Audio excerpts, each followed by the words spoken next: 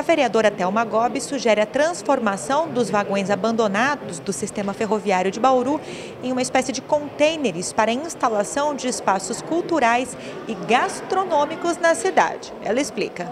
Na verdade, os vagões estão abandonados.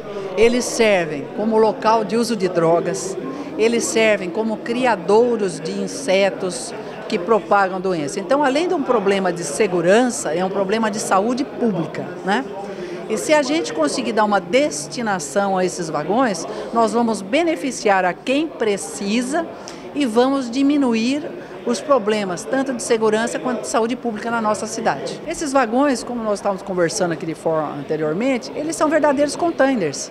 Você pode fazer casas, você pode fazer centros de armazenamento, você pode utilizá-los como padronização das lanchonetes que nós temos no entorno das praças.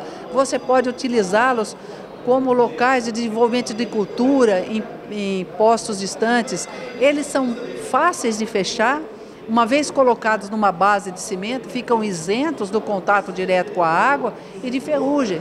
Então é uma construção que você já recebe pronta.